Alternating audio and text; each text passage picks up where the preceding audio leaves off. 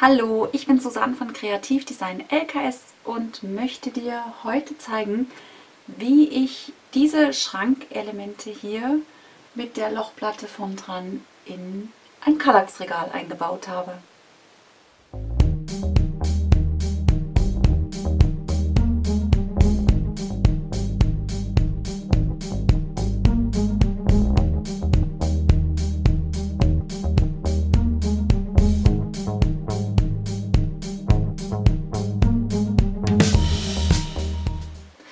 Heute geht es um diese Schrankeinsätze hier. Die sind für das Kallax-Regal von Ikea. Haben eine Lochplatte von dran, also kann man eben gleich noch nutzen. Ich möchte dir zeigen, wie ich die eingebaut habe. Gleich vorab ein kleiner Hinweis, das ist jetzt nicht die Bedienungsanleitung. Ich zeige dir, wie ich es gemacht habe. Und bei der Planung von meinem Bastelbereich kamen mir doch so einige Fragen auf und vielleicht stellst du dir die gleichen Fragen oder du hast so einen kleinen Aha-Effekt. Deswegen mache ich jetzt mal das Video dazu und zeige dir eben, wie ich es gemacht habe, wie das Ganze bei mir ausschaut. Warum habe ich sie überhaupt? Ich habe hier mein ganzes Papier drin, also ich habe drei Stück an der Zahl drin. Ich bewahre da meine Papier Papiere drin auf. Zur Papieraufbewahrung selber mache ich dir nochmal ein extra Video. Und das steht einfach nicht so sehr auf Licht. Also mein Bastelbereich ist vom hinteren Teil des Schlafzimmers zum Fenster gerückt. Und ja, damit ist das Papier mehr Licht ausgesetzt. Und ich habe mir gedacht, ich möchte es in den Schrank. Habe mich für die Lochplatten entschieden, weil man da eben noch so diverse äh, Dinge eben anbringen kann. Haken, gibt es dann hier so Klammern, kann ich mir dann schnell meine Anleitung äh, ranpinnen, damit die nicht in meinem Bastelbereich im Weg umeinander fliegt und ich sie ständig suchen muss, denn so ging mir das bisher. Also habe ich mir dann noch so eine Klammer ran gemacht oder eben so kleine To-Do-Zettel, dass ich eben zum Beispiel bestimmte Dinge für meinen Etsy-Shop wieder äh, ja, neu machen muss. Und dass ich so langsam mit den Adventskalendern anfangen muss. Da brauche ich auch noch ein paar mehr. Ja, und ich möchte dir heute eben zeigen, wie ich die hier zusammengebaut habe und vielleicht auch ein paar Fragen beantworten. Hast du sonst noch irgendwelche Fragen zu diesen Teilen hier? Dann äh, nutzt doch einfach die Kommentarfunktion unter dem Video oder du schreibst mir eine E-Mail. Ich nutze dieses Regal hier als Raumteiler. Also ich habe eben hier meinen Bastelbereich, wo wir uns jetzt gerade befinden. Hier hinten ist direkt ähm, das Fenster. Das ist jetzt eben für mich neu, dass ich direkt am Fenster bin und hinter dem Regal befindet sich direkt das Bett.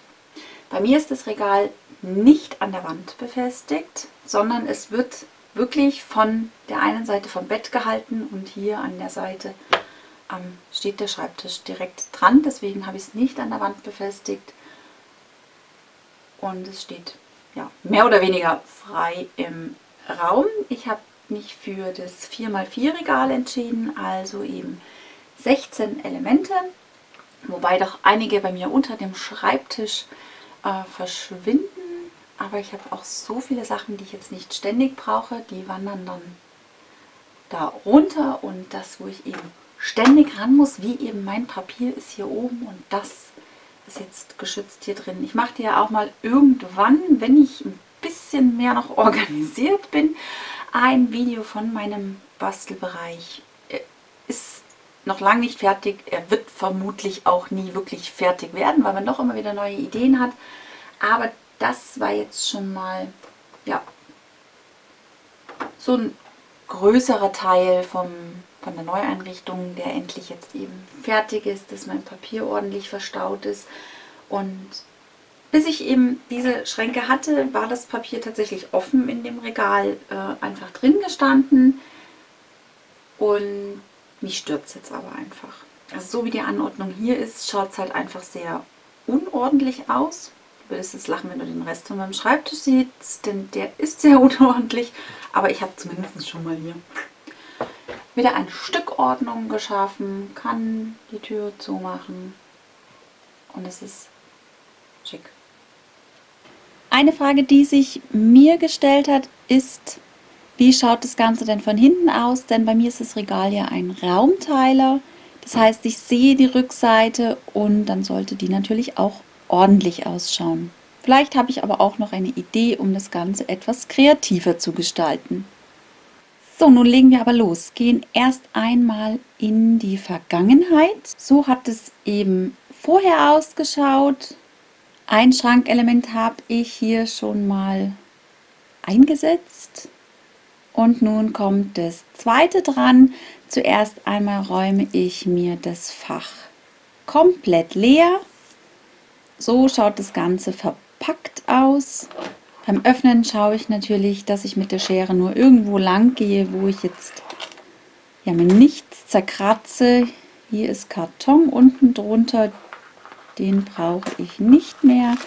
Einmal die Folie entfernen. Hier oben drauf liegt auch die Bedienungsanleitung. Das ist ja immer so eine Glaubensfrage bei Ikea. Die einen finden, sie ist verständlich, die anderen finden, die geht gar nicht. Äh, ja, ich habe es denke ich, doch so halbwegs bis auf ein paar kleine Details auf Anhieb kapiert.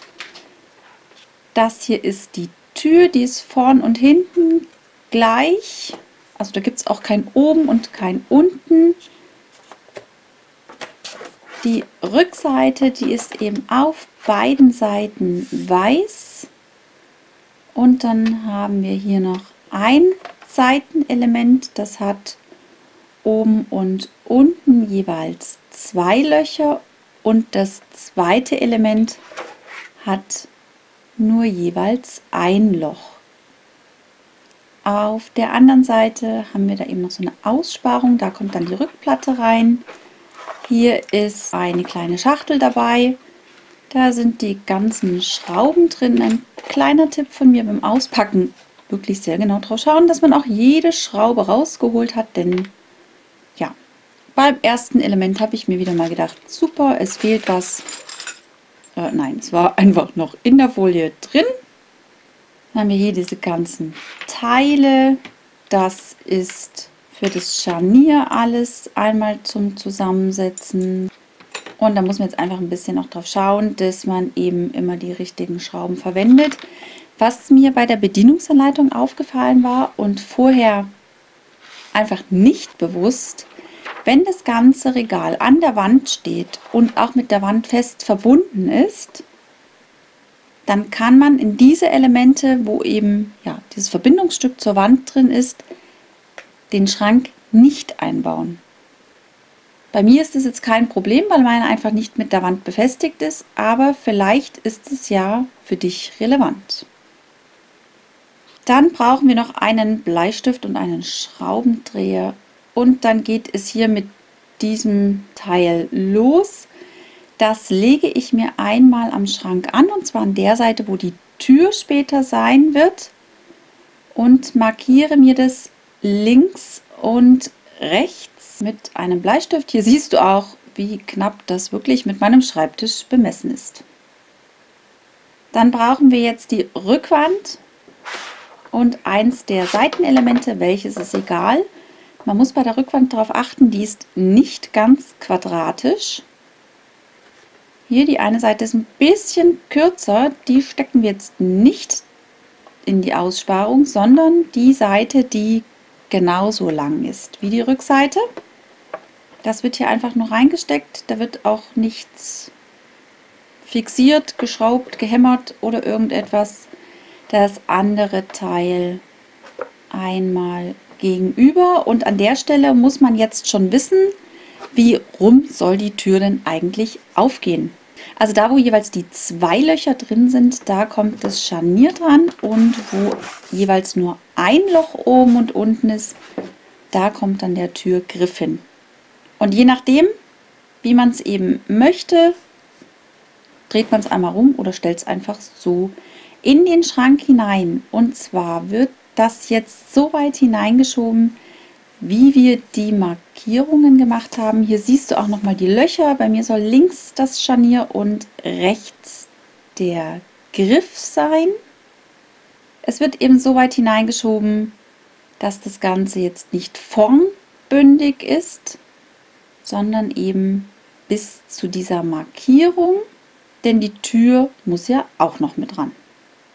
So, dann nehme ich mir hier dieses Stück von der Öffnung mit den zwei Schrauben, die haben von jeweils die Spitze dran, befestige mir das einmal etwas.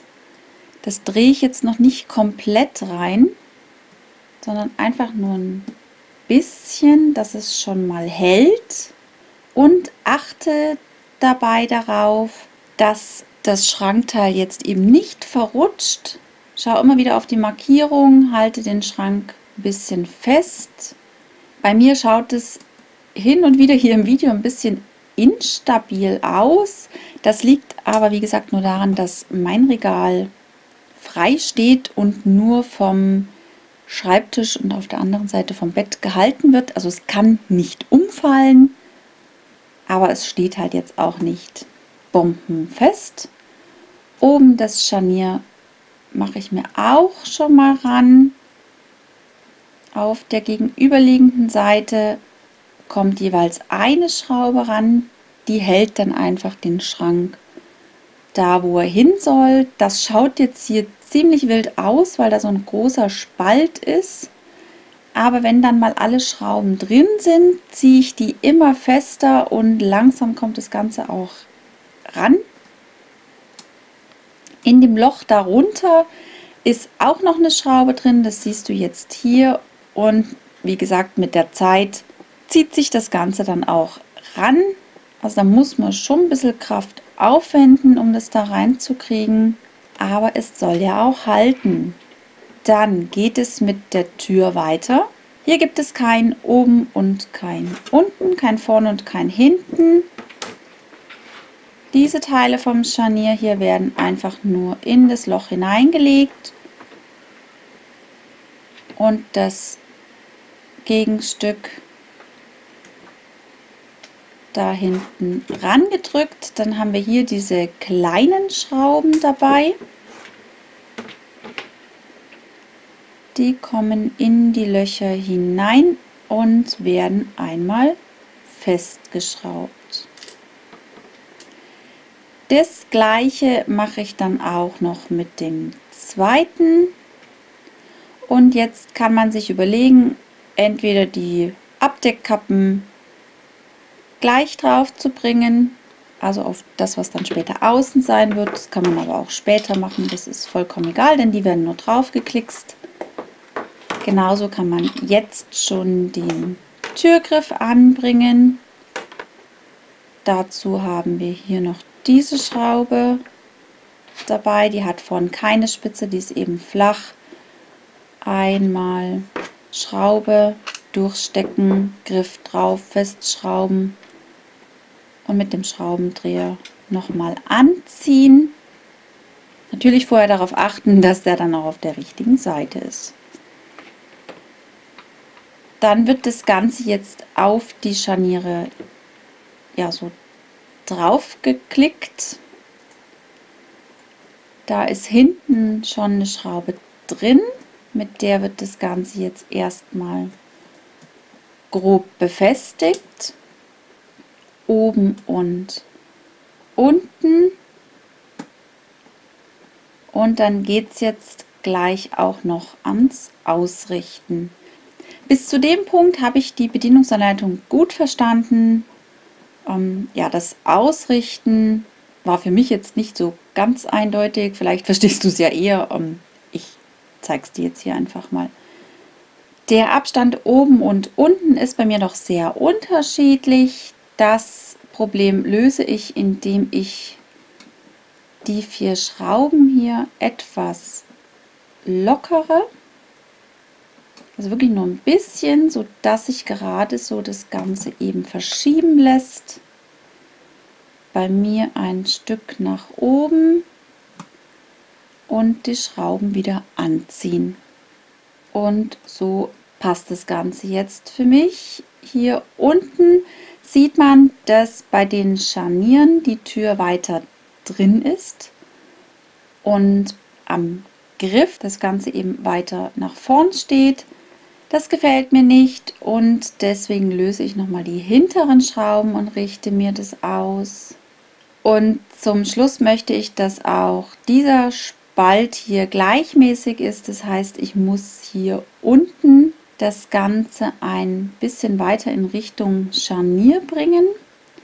Dafür nutze ich die vordere kleine Schraube am Scharnier, justiere mir das Ganze und wenn ich insgesamt zufrieden bin, dann ziehe ich die Schrauben auch noch einmal an und kann wieder einräumen. Also der Inhalt bleibt der gleiche. Wie du siehst, passen die A4-Papiere super rein und auch die großen Designerpapiere mit 12 x 12 Inch. Und dann habe ich auch mein zweites Schrankelement fertig. Mache mich dann noch an mein drittes und hoffe, dir hat das Video gefallen. Freue mich über einen Daumen nach oben. Wenn du noch irgendwelche Fragen hast, dann kontaktiere mich, nutze dazu die Kommentare unter dem Video hier oder schreib mir eine E-Mail. Abonniere doch meinen Kanal und schau auch mal auf meiner Website vorbei. Und dann freue ich mich, wenn du auch beim nächsten Mal wieder mit dabei bist. Ciao, deine LKS.